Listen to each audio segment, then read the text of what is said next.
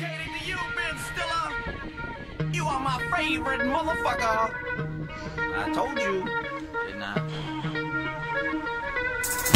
Drama makes the world go around. Has anybody got a problem with that? Yeah, my business. It's my business.